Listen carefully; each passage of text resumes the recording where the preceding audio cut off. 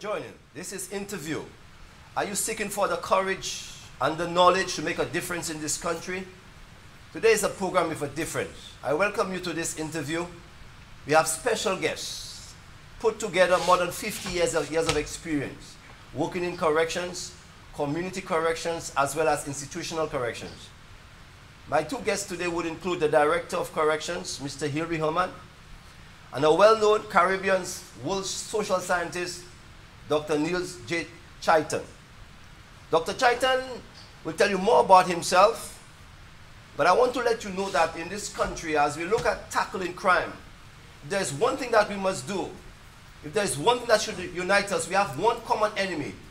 And in our diversity, we need to unite.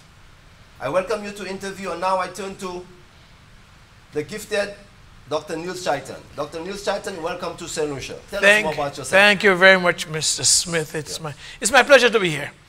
Um, you know, we, we all part of the Windward Islands. Yes. Um, I was born in Grenada, of course, the spice island of the world, folks. And um, I bring that spice with me, by the way. However, I, I grew up much of my adult life in, in Toronto, Canada okay. for the last 39 years. Mm -hmm. Met the love of my life there, by the way, and she's part of what I do. Um, we are social in, uh, interventionists, and we are crime reduction specialists. Um, what we do is to create a systematic method of dealing with crime. You know, um, most of the time, and I have with me, you know, sitting right by me here, the director of corrections. And um, we, we sometimes think, well, crime has to be, the, the way we deal with it, let's lock them up, let's take them to court, let's put them away right? Um, not many people look at the underlying roots of crime. Hold that thought, hold that thought. That's a very good thought. We'll come to that in a minute. Uh, Mr. Herman, um, just before Dr. Chaitan tell us about his background, just think of yours as well that you want to share with us. Mm -hmm. But Dr. Chaitan, tell us about, a little more about your professional background, your training. Um, I know you're a social scientist. What does that mean? Um, well, the, the, truth about it, uh, I have a PhD in social and behavioral sciences. Okay. So it's, it's, it's, it's, a wide spectrum, by the way. Okay. Um, here, social, here, behavioral. That's, almost right. everything between there. right. that is with crime, that's social dysfunctions, okay. with addictions, at every level, every level. So, um, however, my company is called Motivate for Change International. Sounds good. Right? It's also Toronto, the headquarters in Toronto. And right now we run a satellite office in St. George's, Grenada, mm. um, so we could respond to the Caribbean. Three years ago, um, we were asked by the, the, government of St. Kitts and Nevis. They had a very, very high spike in, in, in homicide. As a matter of fact, they had the highest homicide rate in the world. Okay. Of course, per, per capita, capita, per yeah. capita. And so we are called in there to, to do what we can to engage a, a, a framework, right? Uh, an overarching framework. Uh, because, uh, Mr. Smith, uh, the Caribbean has wonderful, brilliant people. And I do not come to the Caribbean believing that I'm the answer. On that note, hold that thought. Mr. Herman, you, at one time you served as the president of the Prison Association in the Caribbean.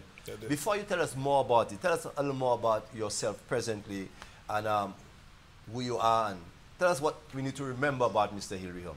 Well, um, thanks for having me, Mr. Smith. Oh. Uh, of course, my name is Hilary Herman. I'm the Director of Corrections of the Bordelais Correctional Facility. I um, returned home to St. Lucia in 2002 okay. to open the newly commissioned prison, the Bordelais Correctional Facility. I am a soldier at heart. I was um, retired from the United States Army okay. after 27 years of service. Um, corrections has been my life over the last 30 years. Okay. Um, as you know, corrections is a science, yes. and it works every time it's tried.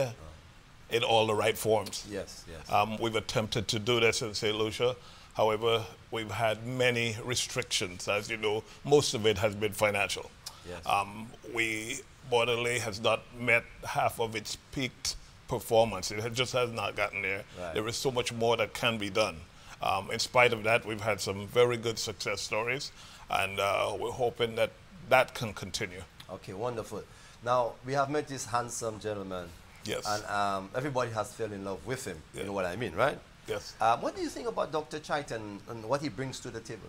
But Dr. Chaitan, over the last six days, I mean, he's an amazing guy. Um, he has brought uh, some very, very positive initiative to us, and I think if we can just capture some of what he has suggested or right. some of what his own experiences has given him um, to apply it here in St. Lucia, I think we can reduce the crime rate. Yes, Dr. Chaitan, you, besides Mr. Herman, you met other persons in St. Lucia, Dr. Alfred, Dr. King. Um, well, I happen to get to know you, and of course, you and I go way back in terms of conversation. Um, what do you think about our professionals, Mr. Herman, and those that you have encountered? And what do you think our educational equity offers in regards to cooperating and collaborating with you? Okay, um, first of all, I must say I met some, some, some powerful people here. Okay. Um, and you know, but uh, listening to the resumes and CVs is one right, thing. Right. Um, uh, 30 years is, is great. 27 years in the U.S. Army is, right. is great. But meeting the person and and, and, and I'm sure it's it's it's almost uh, same here. Yes, you know, it's reciprocal yes, here yes. because um, you you might have seen my CV, but yes, and, and, we spoke so many times on WhatsApp. yes. But meeting the person and, and, and hearing the person, and uh, I I think um, more than anything else, last night mm -hmm. in our consultation. Yeah. Um, Dr. King is a guy I met and liked, liked quite a bit, right? Um, and to hear Dr. King give his own personal, personal story, yes. right. how this thing appeals to him and, and how, what it causes him, how it right. affects his emotions. Mm -hmm. And not only that, his life moving forward. Yes. I mean, he said he was yes. an arrogant doctor. Yeah. Right, right, right. He was an arrogant doctor until this same situation visited his home. Right. right. Now, whilst beyond that, you also had the privilege and the opportunity of meeting the Prime Minister. I did. Um, our Prime Minister is very passionate about crime reduction um, what is what was the experience meeting coming from Grenada, Canada, and you know you have met many prime ministers as well. What stands out for you? Um, first of all, the, the honorary prime minister, um, to say it in, in, he's a cool guy. Okay, he's a cool guy, right? Um, very, very, very, very warm, very warm. Um, in, in, our meeting, I was sitting one chair away from him. Um, I felt I felt very relaxed. Uh, he, he, appeared to be someone who was very accommodating, and, and you know, and you know, Mr. Smith. Um, many times when you meet a head of state, they want to give you, oh, I, I, know, I know, I heard about you. Five minutes and you're gone. Right, right. This gentleman sat down. Mm -hmm. This gentleman looked me in the eye. As I spoke to him, I showed him a process um, of course, I introduced to him our stop and think concept. And we'll get into that and in a while. And he left there with his hand filled. Right, right. Right. Now, of course, he, he also spoke about some of the some of the, deterrents or some of the, the, challenges that would make what we bring possible. Right. But I said to him, uh, Mr. Mr. Prime Minister, if there is a need, we once there is a need, it's going to happen.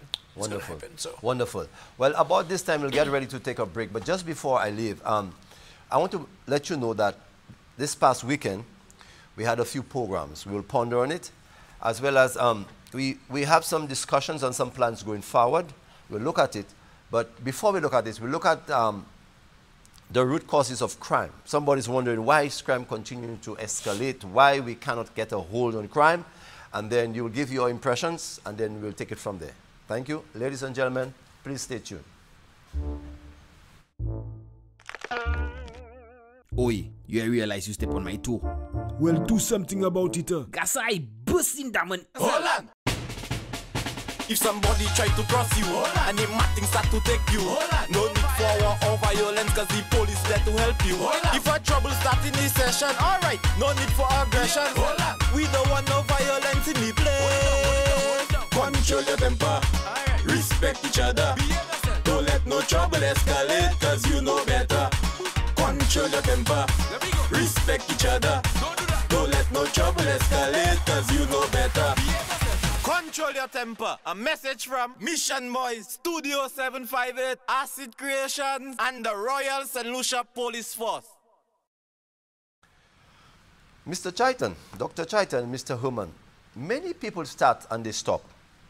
Hmm. I have to understand the difference between being interested and being committed.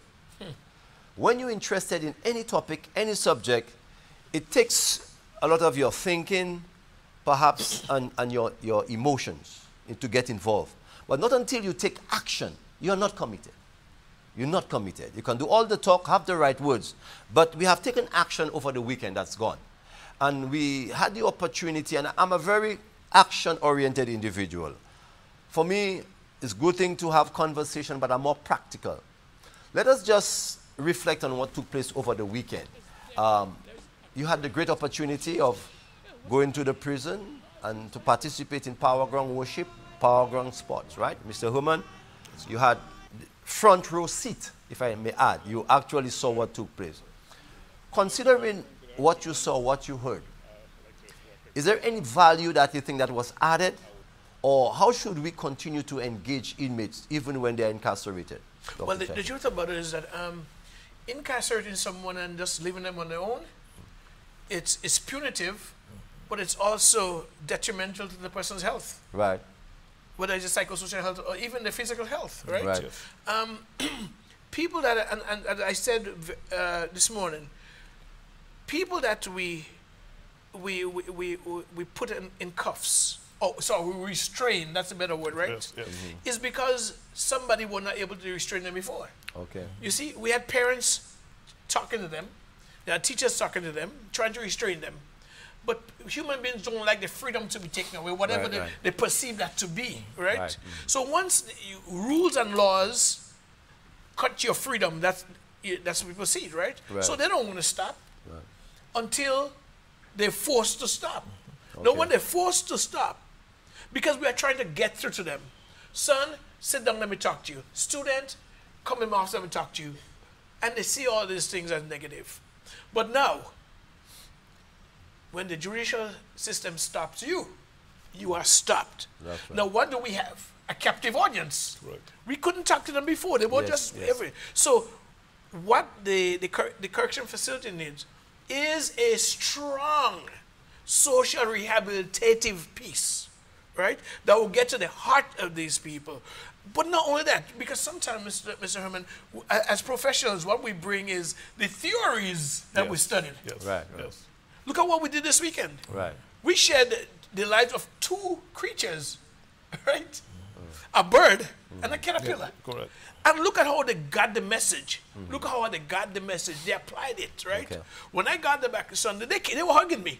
Right, Why? because- they don't know me. Right. But we got into the heart. And so every every time we incarcerate, we need to have a hard gripping component Right. of social change, rehabilitation that Right. will work along. Otherwise, we are exporting back to the community as criminals. okay. And, and I'm sure you have in your first aid kit of social medicine, you do have some prescriptions, whether it's um, stop and think, or whether it's the um, either program, or whether it's the making and the breaking of a criminal, and that which perhaps I can remember now. You will tell us a little more about that. But Mr. Herman, um, how important it is for the community to join you, whilst the individuals, whilst we have the young men or the ladies in, in prison. How important it is to be part of that you? Mr. Keith, the reintegration piece, mm-hmm. which is the missing link Right. in our Bordelais correctional facility, uh-huh. there, that doesn't exist. Okay. And where it shows itself is when we have 47 individuals returning to the facility between March 26th and July 30th. With 47 individuals returning to our facility, which means um, that they've been to Bordelais at least twice. Okay. So, in not preparing them for the world outside, there is no support system that helps them, there's no guidance, chances are the cycle continues. Right, right. And that's where your organization, such as back, back on Track, can be very instrumental in assisting these inmates in reintegrating back into our society. Okay, um, normalization, there's a way to deprisonize anyone. Is first of all is to have the person thinking outside and bringing the outside on the inside, right? So that the individual can feel part of society.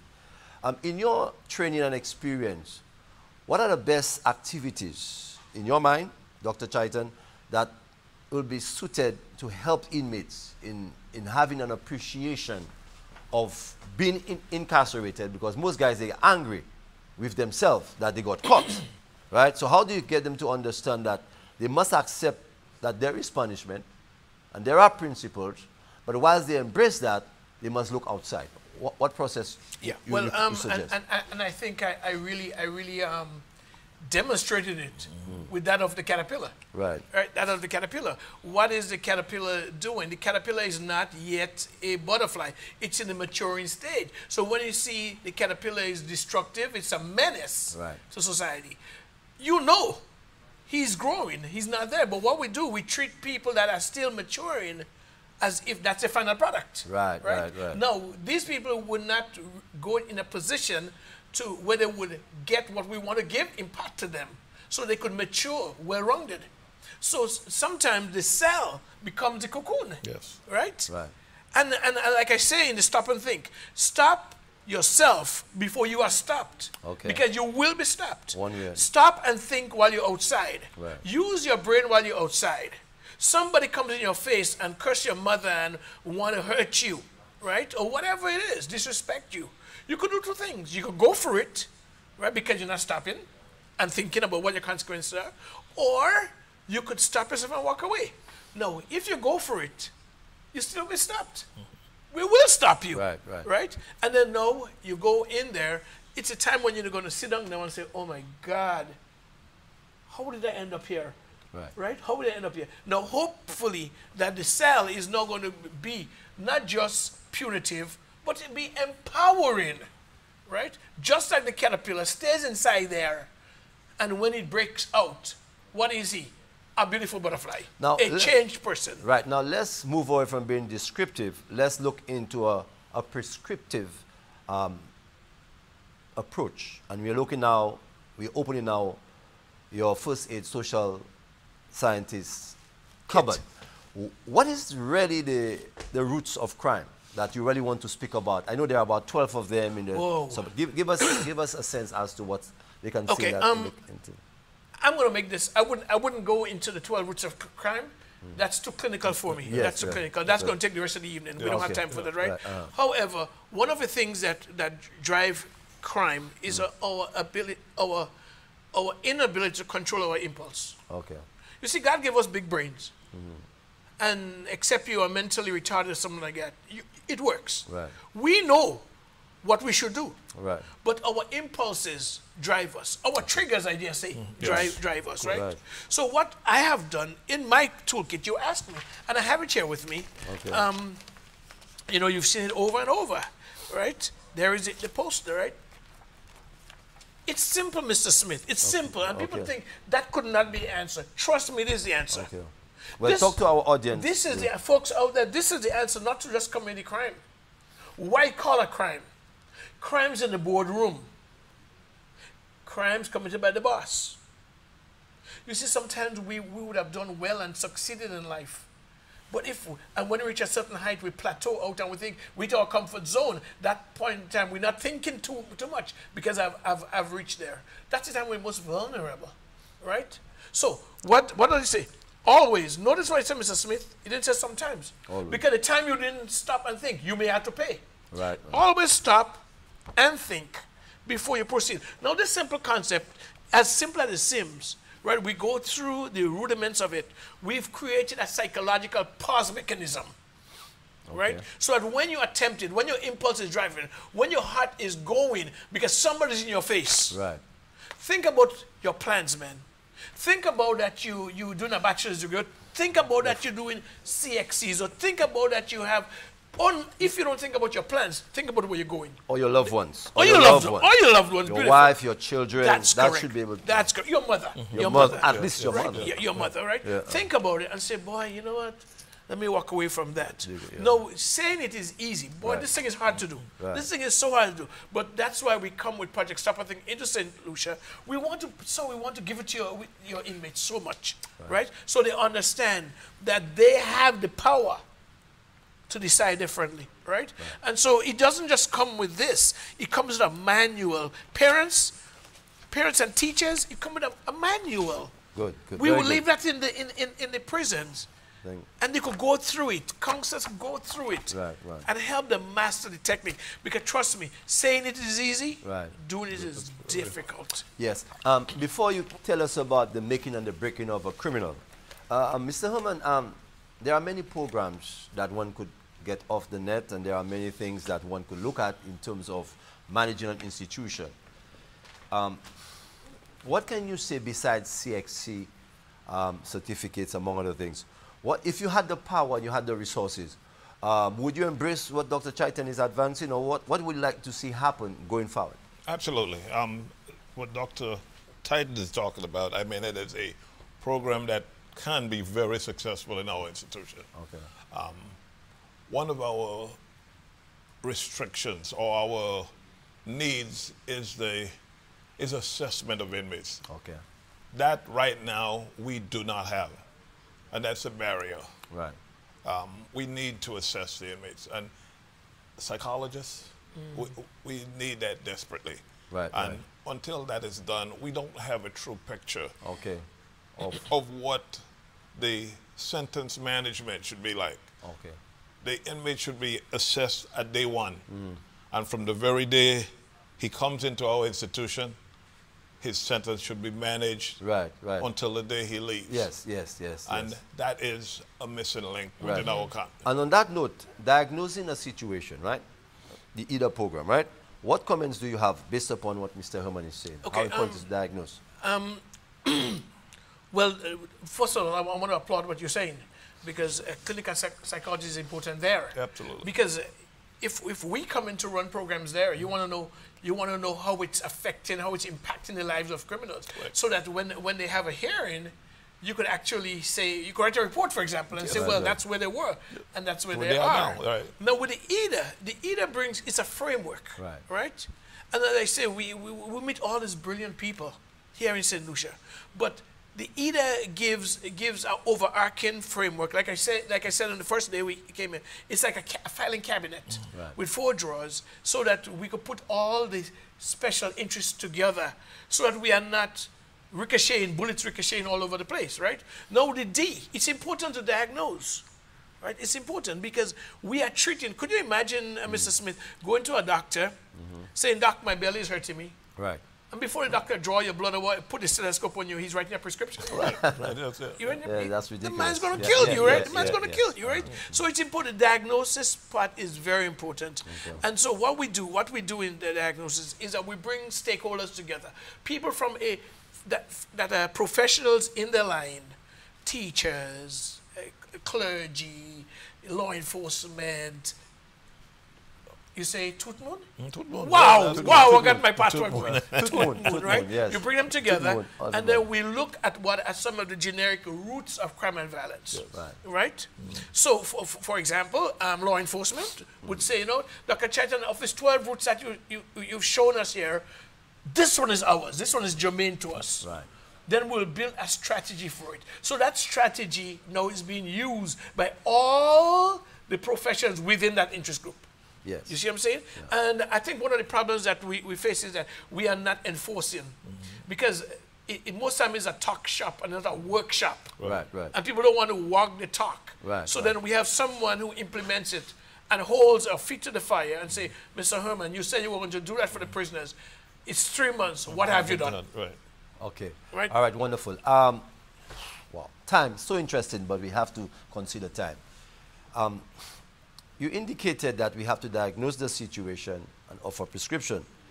Um, in the interest of time, what would you say should be the starting point in understanding the men in our society, in appreciating what's happening to them. we know that there are certain neurological and scientific um, suggestions or proposals about what takes place. Since most of the your clients, Mr. Herman, are men, let's start. What's, what's the ABC of handling a man?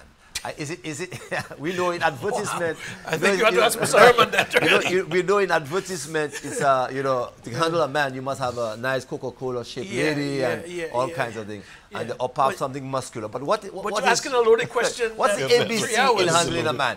We have just about five minutes. Yeah, to no. Uh, go ahead. no. The, the, the point I'm making is that look, our men right now, we are at the lowest ebb with our- with with male Right. in male life. Really, okay. We look at schools. Who get more suspended? Right. Guys, right? Um, and where does it start? In the home. most of the time. So we have to start to ask that answer that question. We have to go to the root because Mama, were you an accidental parent or was that, that boy planned? Right? If the boy was accidental, there's a very good chance he wouldn't have a father, he wouldn't have a mentor in his life to mentor him, to make him a man. And by Right. the way, let me say hi to all the strong St. Lucian women who have raised good men. But because they're successful men, it doesn't mean that they are well-rounded men. Okay. To get a well-rounded man, you need the female touch mm. and you need the male mentor, and the male touch also, right? Yeah. And when you look at it, there are so many homes without a, a, a male figure in it, right? The, the, so, so we are raised by women. Then we go to schools. They say 76% of OECS teachers are females. Right, right. right? In Grenada, we got 23 high schools, and I cannot call the name of four men that are principals. In my tongue in Grenada, where I work right now, the, the magistrate is female. So do you see what's happening there? Yes, whilst we're on that, just give Mr. Herman a perspective as to what's taking place in the mind when a, a, a, a man is under stress. Um, you talk about the certain um, hormones, how they are released. and Because Mr. Herman, as much as you would like to avoid many things, like smoking in the prison, or alcohol, etc., what is happening? what, okay, in- what, in your what happened there is the, the, the man is under stress, Right, whatever the stress is, Yes. or is, uh, is in pain. right. right? Emotional pain. Now, he needs a release. This boy is not doing well in high school. Right. His mother is on his case, his teacher on his case, everybody on his case, right? So he, he fails. He falls through the crack. He's on the streets. Mm-hmm. He's on the streets. When you think about it, wow, what my mother gonna say? My father, if there's a father, I slap him in my head and say, boy, go and do better. Right? The boy's under stress. So what the boy needs is some form of medication Right, some Okay. form of medication to make him feel better. right. Gentlemen and ladies, I'm telling you that marijuana will do it. Okay. Drugs will do it, but is it right? Is it is it wholesome and healthy for you? That's another question. Because when you smoke, smoke, you get a, what's called a euphoria or a high. Okay. What is released in your brain are the happy hormones that make you feel better. You forget the, the tr- your mother's in your case, your dad's on the case. You forget Mr. Herman is on your case. Right. You just push her around. But guess what? When the high goes down, the problem is bigger. Now, Dr. Chaitan, you will not believe it, but time has Oh no. Doc, when you come back, tell us a little more about that. We'll, take, we'll come back here and we'll continue the conversation. We definitely so, will. So your intention is to come back to St. Lucia and continue to um, inspire and inform so that we can get involved. Am I correct? Well, my brother, they asking me to come back. The community is asking me. Okay. And once the grassroots calls, Right. I'll Okay. respond. Wonderful. Well, Mr. Herman, we had Dr. Chaitan just for half an hour. Yes. Um, I find that um, it's very clear. It's full of passion, full of information, and I'm quite sure that we're looking forward to meet Dr. Chaitan when he returns. Yes. Um, any closing remarks from you, Mr. Herman?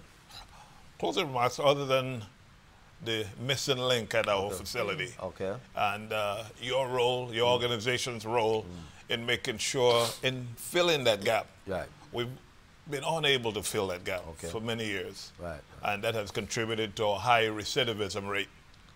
And uh, I look forward to working further with you. And Dr. Chaitan has adopted me. My closing remark is, is, is, is a commitment to you, sir. That's one. Once my feet is on the Helen of the West, you got me. Wonderful. All right, wonderful. Thank you. Well, Doc, let's hear your closing remarks. Thank what do you say? Well, uh, St. Lucia, listen, listen. I know, I know you're going through this, this scourge of, of crime. I ask you to be patient. I ask you to be, please be tolerant because the boys that you think are wreak- wreaking havoc on this place with their guns are boys in pain. Are boys in pain. I know we don't want to. We don't want to be empathetic towards that. And I know there's a time for enforcement. There's a time to disarm them. Right. But when we disarm them, what do we do? Do we just hurl them into a cell like an animal, or do we try to save them? My mantra has been, sir, mm-hmm. turn in menaces into mentors. Wonderful. And ladies and gentlemen, we need to be more secure in our country, you might say. We need to understand that it takes more to keep somebody in prison than to send them to university. You just count. Just look at $40 a meal or $50 a meal and you multiply that by 40 days. Mm. We pass $1,000 just for the meals. And Mr. Herman will tell you to pay the staff, the money is not enough. So it has been proven that keeping somebody incarcerated costs more than sending somebody to university. Now, for us to pay so much money, if the cost of low living is much higher than the cost of high living, then what shall we do? So in our country, we have no choice. We can't run away. This is where we were born. This is, this is what we know. So we cannot turn the other side. If there is a young man that is giving trouble, you have a son that is giving problems, you have your husband that's, you need some help, ask for help. The only way I know, the only formula that I have to get what you want is to ask for it. This is what the Bible says. Ask and, and shall receive. Seek and you shall find. Knock and the door shall be open to you. It's not too late. There is hope. Thanks for viewing and God bless.